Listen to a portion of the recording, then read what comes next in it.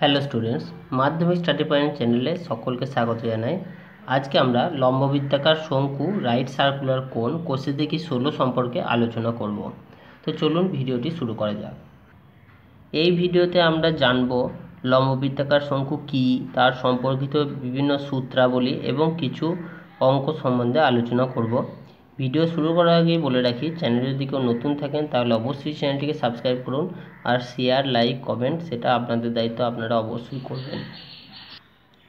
লম্ববৃত্তাকার শঙ্কু সম্পর্কে জানতে গেলে আগে জানতে হবে, সমকোণ কাকে বলে বা সমকোণী ত্রিভুজ কাকে বলে? তো সমকোণী ত্রিভুজ হলো যে ত্রিভুজের একটা কোণ সমকোণ বা নব্বই ডিগ্রি তাকে সমকোণী ত্রিভুজ বলে।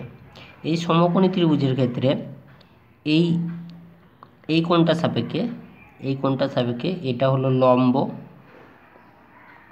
এটা হলো ভূমি, আর এইটা হলো অতিভুজ।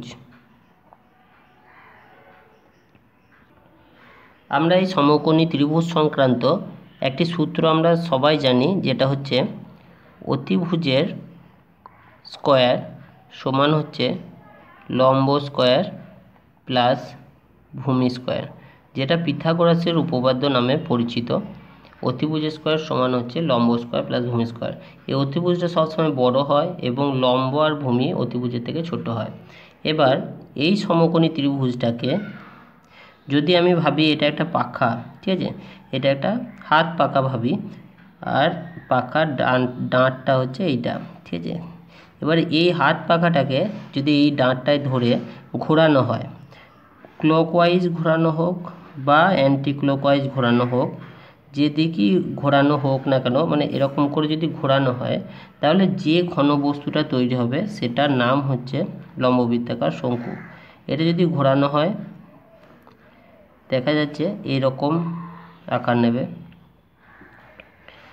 এই অক্ষরটা সাপেক্ষে যদি এরকম করে ঘোরানো হয়, তাহলে এইরকম একটা আকার নেবে, ঠিক আছে? এই ঘনবস্তুটার নাম হচ্ছে শঙ্কু, লম্ববৃত্তাকার শঙ্কু।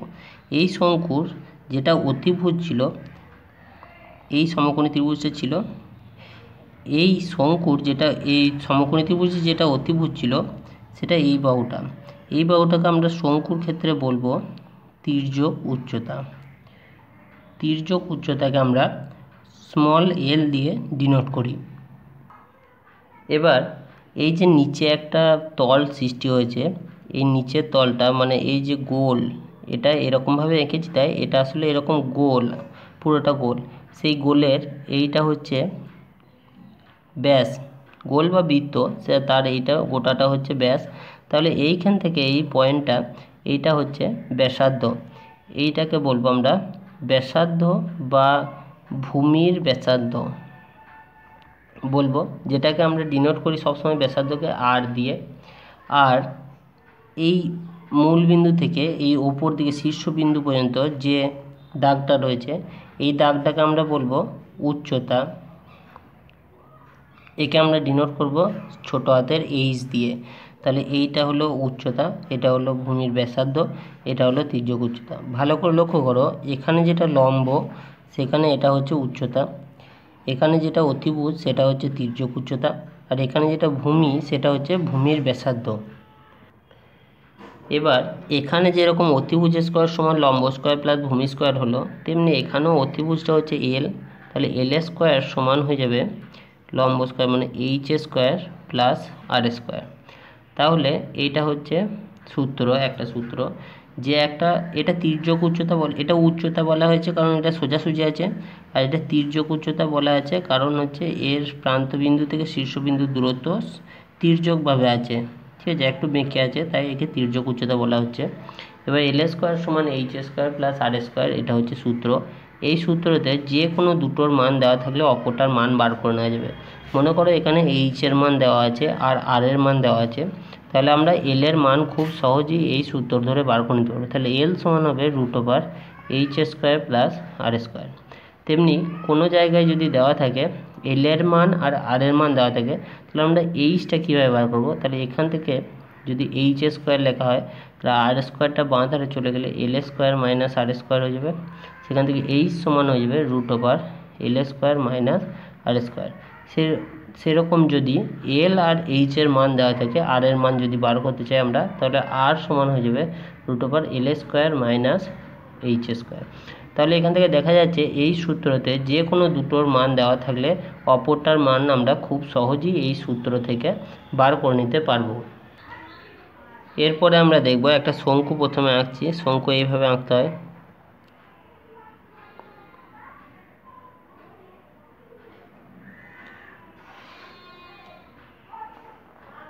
এঁকে নিলাম একটা শঙ্কু প্রথমে। ঠিক আছে? এই যে শঙ্কু দেখতে পাচ্ছ, এর কটা তল প্রথমে জানতে হবে। তল বলতে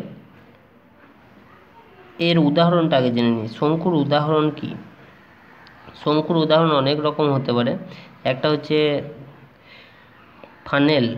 ফানেল মানে যেটা তেল দেয়, সেটাকে বলে ফানেল বা তেল ঢালে, সেটাকে আমরা অনেক সময় চুঙিও বলে থাকি। তারপর এই পেনের অগ্রভাগ মানে এই যে পেন, এর পেনের এত, এইখান থেকে যদি এটা নিচের দিকটা কেটে নেওয়া হয়, তাহলে এই ওপর দিকটা হচ্ছে একটা শঙ্কু। তাহলে পেন্সিলের বা পেনের অগ্রভাগ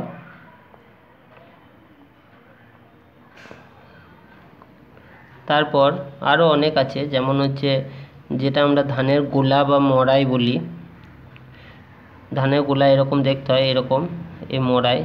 এই মড়াইয়ের ওপর দিকটা হচ্ছে শঙ্কু আকৃতির। আরও অনেক উদাহরণ আছে, যেমন জন্মদিনের টোপর জন্মদিনের টোপর বা টুপি যেটাকে বলে, জন্মদিনে ব্যবহার করা হয় সেটা। আরও অনেক উদাহরণ আছে, সেগুলো আমরা পরে পরে জানব। ঠিক আছে? এই যে শঙ্কুর, এই শঙ্কুর দুটো তল, একটা হচ্ছে এই নিচের তলটা, যেটা আমি চিহ্নিত করছি, এই নিচের তলটা হচ্ছে একটা বৃত্ত। সেটা একটা তল আর একটা ওপর তলটা মানে এই যে পাশের তলটা, এই সাইডের তলটা। একটা ফানেল যদি চিন্তা করো বা একটা মড়াইয়ের ওপর দিকটা চিন্তা করো, তো এই পাশের তলটা তাঁবুও হতে পারে। এখানে তাঁবুও হচ্ছে একটা উদাহরণ।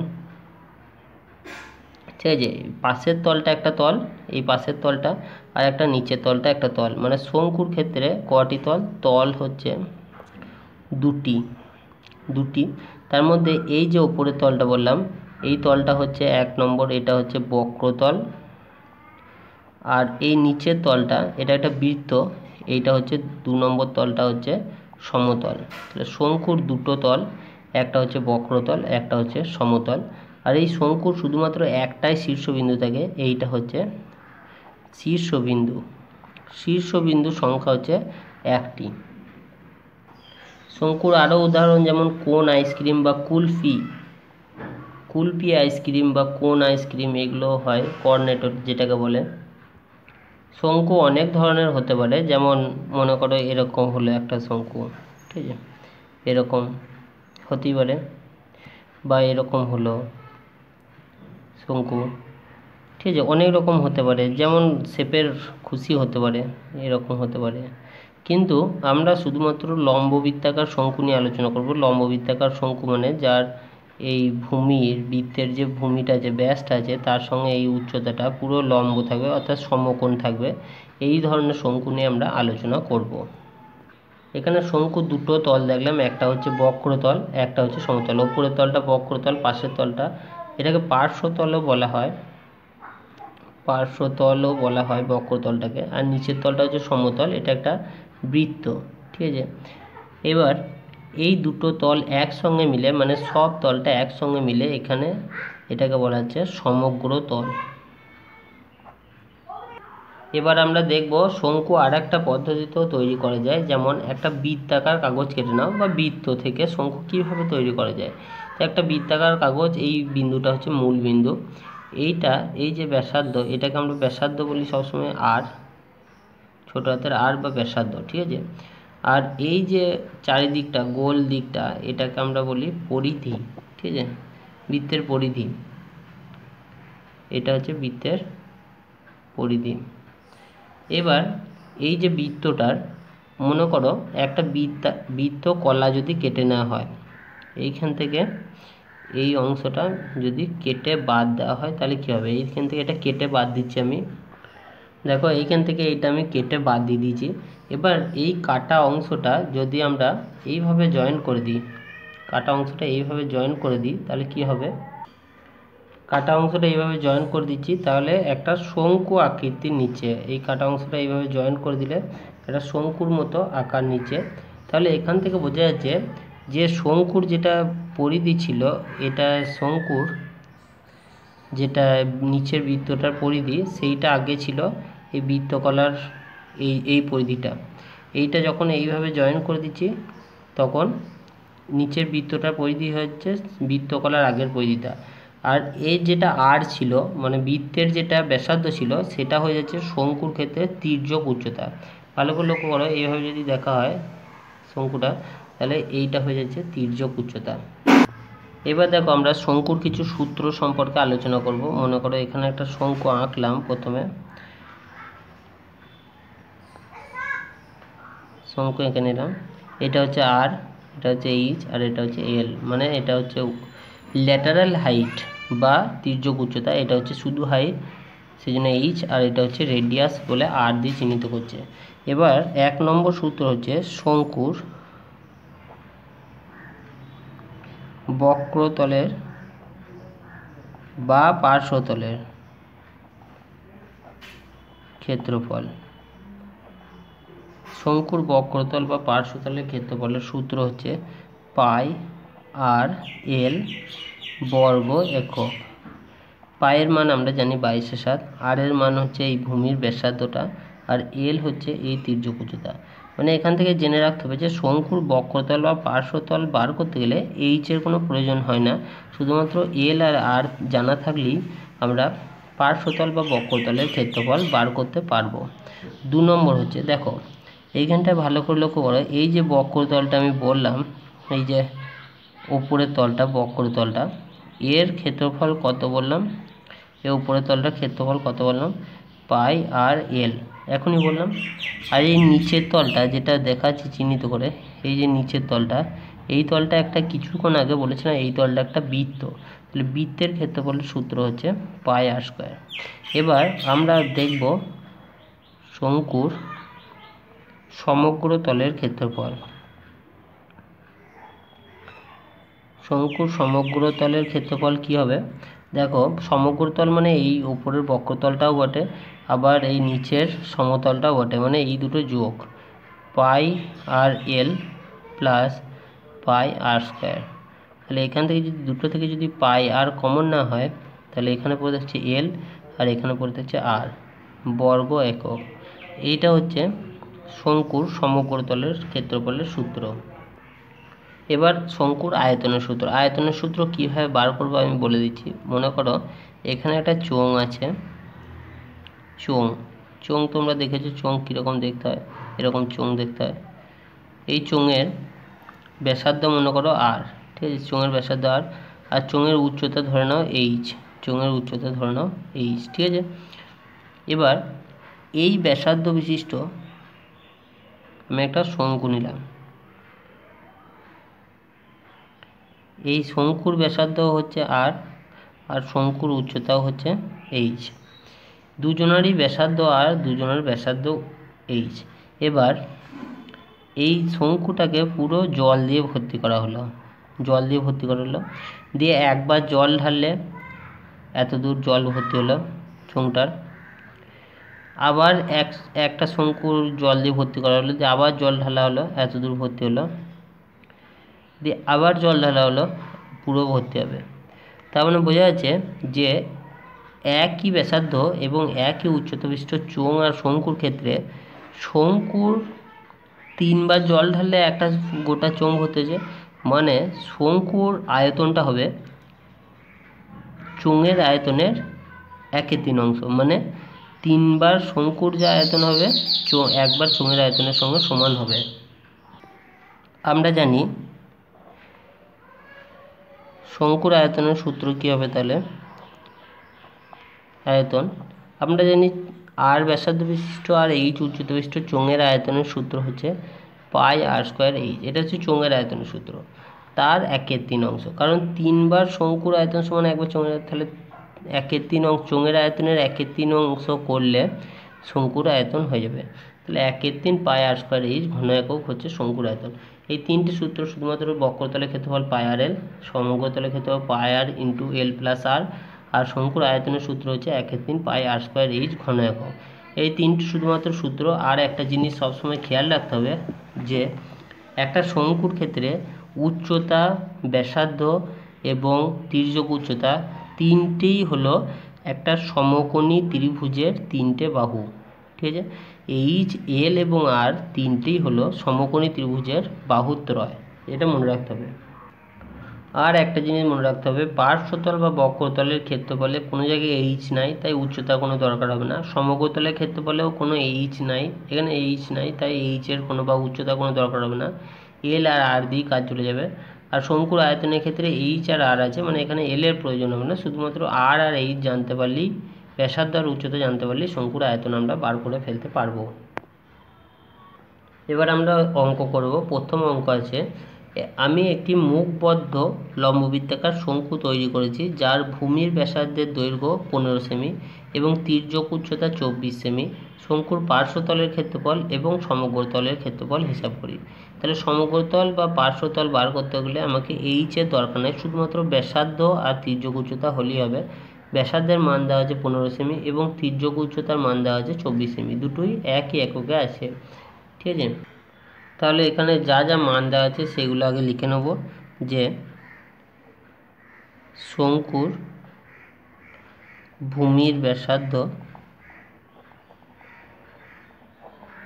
আর সমান দিয়ে দেওয়া আছে পনেরো সেমি ঠিক আছে? এটা দেওয়া আছে। এর যেহেতু আর ধরছি, তাই এটাকে আমি লিখে নিতে হবে যে ধরি শঙ্কুর ব্যাসার্ধ। আর শঙ্কুর তির্যক উচ্চতা দেওয়া আছে চব্বিশ সেমি ঠিক আছে? আমাকে বার করতে হবে শঙ্কুর পার্শ্বতলের ক্ষেত্রফল। তাহলে শঙ্কুর পার্শ্বতলের ক্ষেত্রফল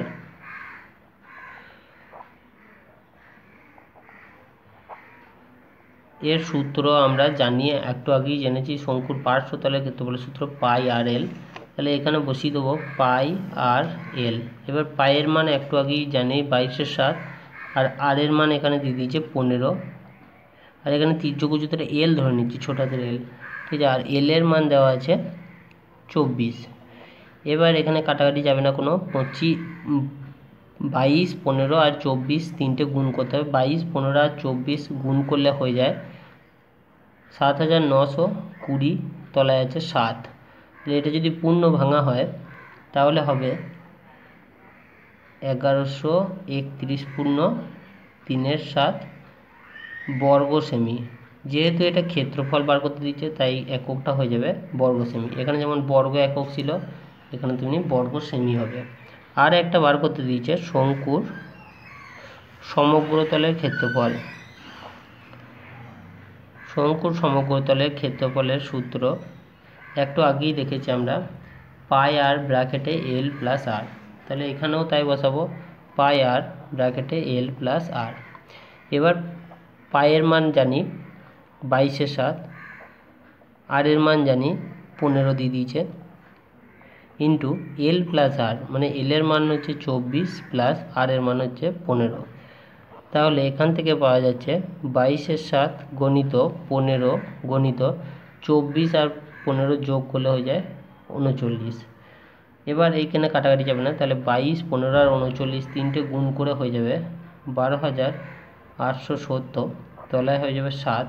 তাহলে এটাকে পূর্ণ ভাঙলে হয়ে যাবে আঠেরোশো আটত্রিশ পূর্ণ চারের সাত।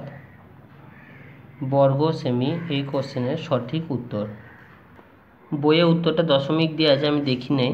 তাহলে এটা দশমিক দিয়ে করলে, দশমিক দিয়ে ভাগ করলে এটাই হতো এগারোশো একত্রিশ দশমিক চার তিন হয়ে যেত এইটা।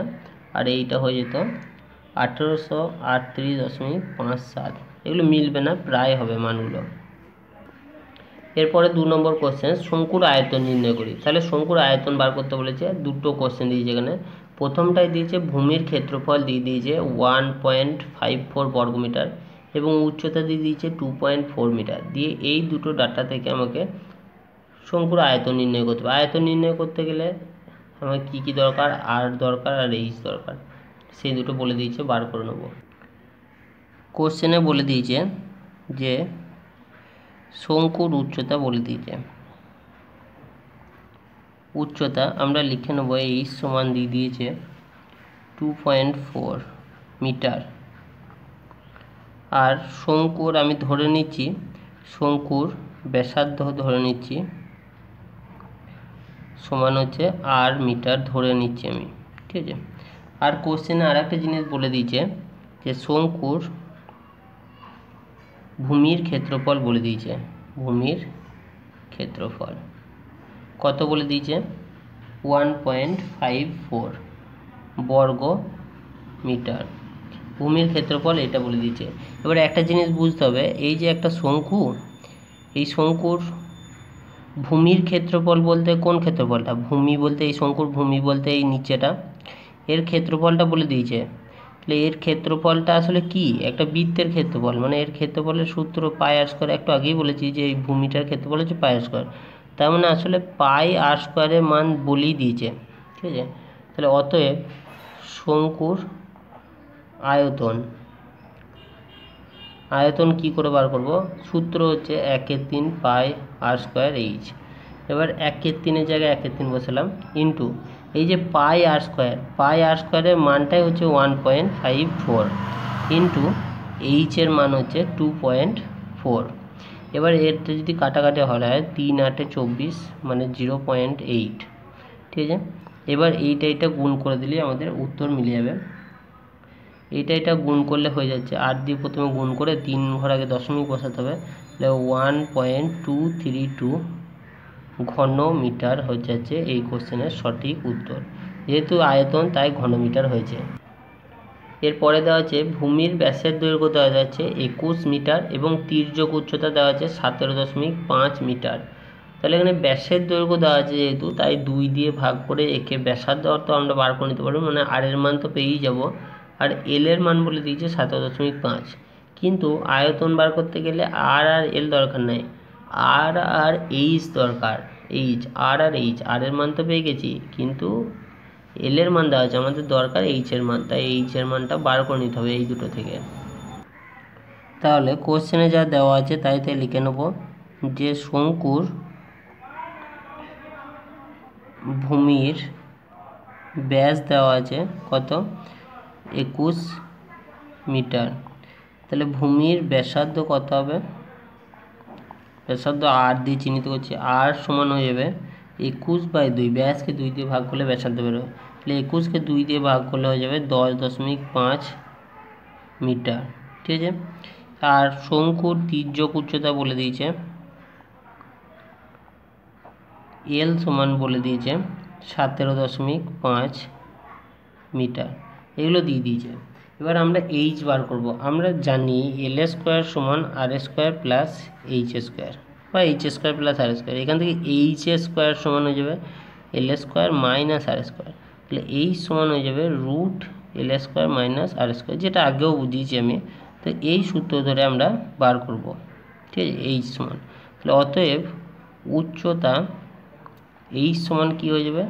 Root L square minus R square তাহলে এল স্কোয়ারের জায়গায় আমরা বসাবো সতেরো দশমিক পাঁচের স্কোয়ার মাইনাস আর স্কোয়ারের জায়গায় বসাবো দশ দশমিক পাঁচের হোল স্কোয়ার এবার সতেরো দশমিক পাঁচের স্কোয়ার মানে সতেরো দশমিক পাঁচ আর সতেরো দশমিক পাঁচ গুণ করতে হবে, আর এর স্কোয়ার মানে বড় হয়ে যাবে।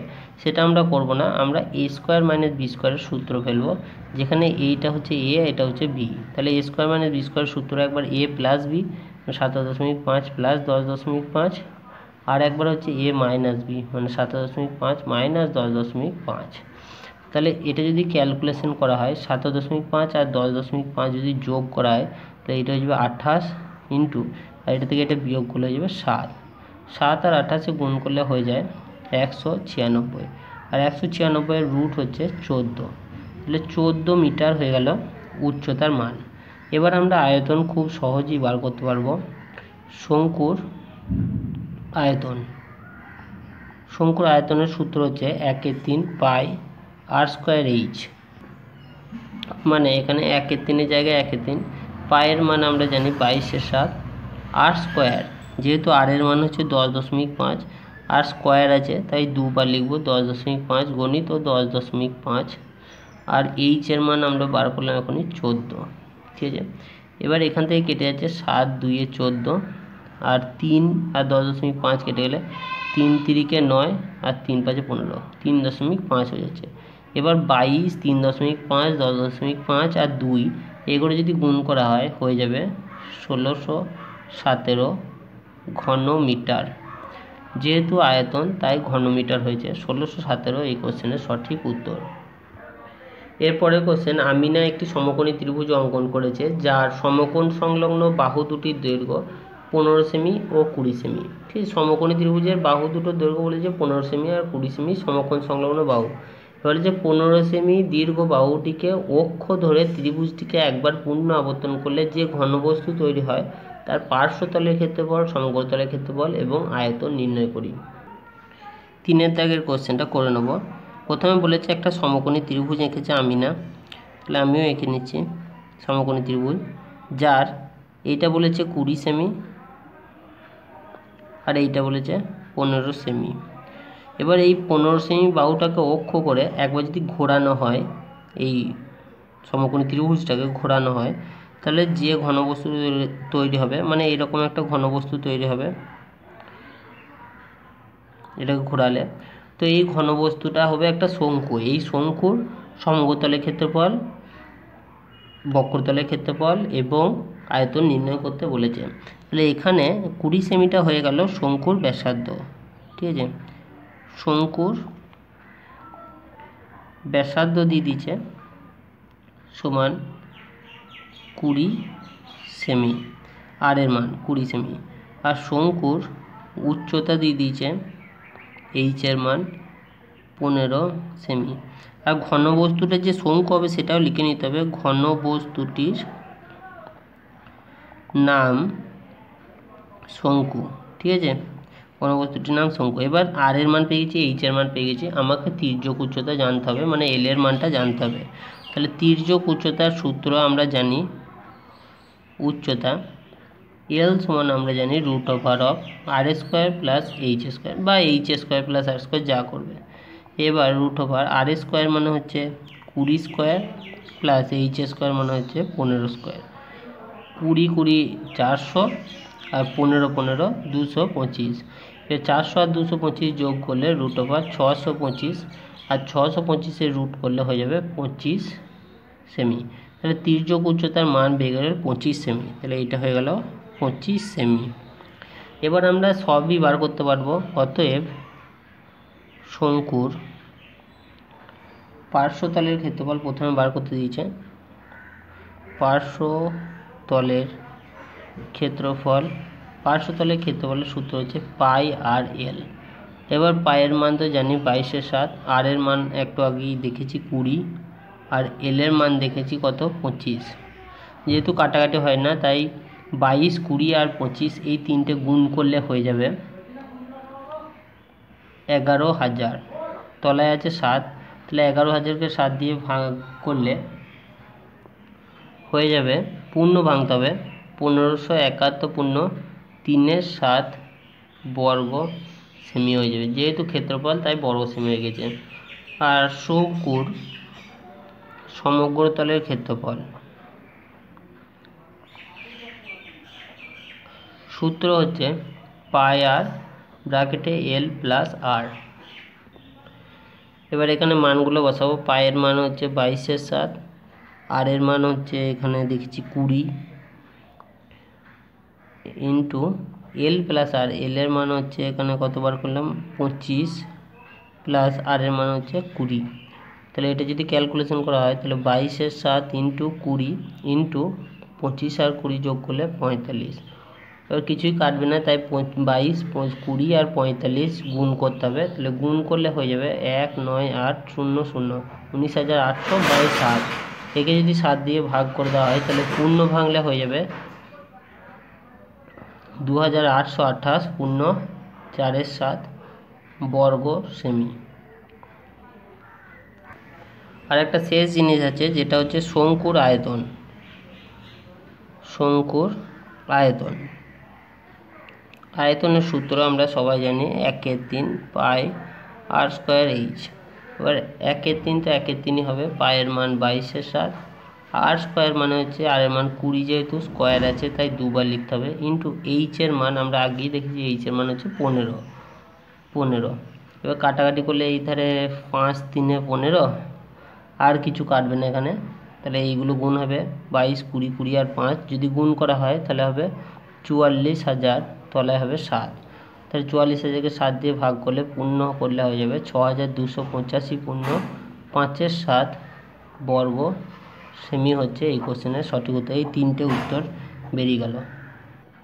এরপরে আমাদের চারের দাগের কোশ্চেন, কোনো শঙ্কুর উচ্চতা এবং তির্যক উচ্চতা যথাক্রমে ছ সেমি ও দশ সেমি হলে শঙ্কুটির সমগ্রতলের ক্ষেত্রফল এবং আয়তন নির্ণয় করি। এখানে উচ্চতার মান দেওয়া আছে ছ সেমি এবং তির্যক উচ্চতা দশ সেমি। এখানে ব্যাসার্ধ বা আর এর মান দেওয়া নাই তাই এই দুটো ডেটা থেকে আমরা আর এর মান বার করে নেব, দিয়ে সমগ্রতলের ক্ষেত্রফল এবং আয়তন নির্ণয় করব। এখানে যা দেওয়া আছে যে শঙ্কুর উচ্চতা দেওয়া আছে কত? ছয় সেমি উচ্চতা মানে এইচ এটাকে এইচ লিখে নিচ্ছি। আর শঙ্কুর তির্যক উচ্চতা দেওয়া আছে সমান হচ্ছে দশ সেমি এটা দেওয়া আছে এল এর মান। যে আমরা আর এর মান বার করব। অতএব শঙ্কুর ব্যাসার্ধ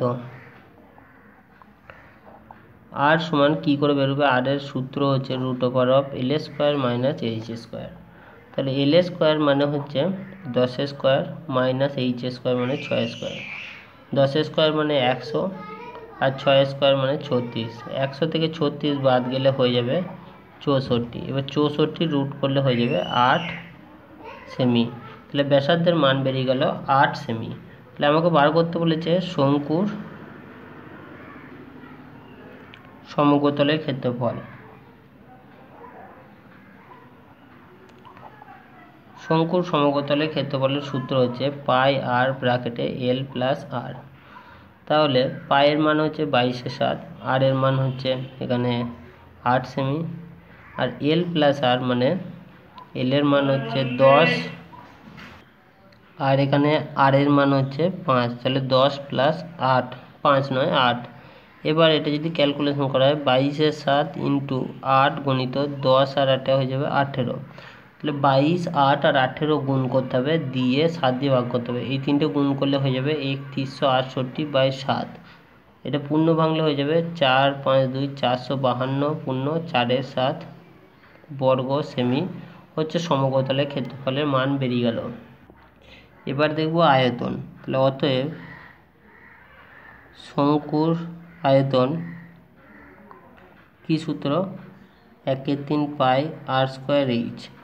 একের তিন তো একের তিনই থাকবে পায়ের মান হচ্ছে বাইশের সাত ইন্টু আর স্কোয়ার। এখানে আর এর মান আট বেরিয়েছিল, তাই আট ইন্টু আট ইন্টু এইচ এর মান ছিল আগেই ছিল ছয়।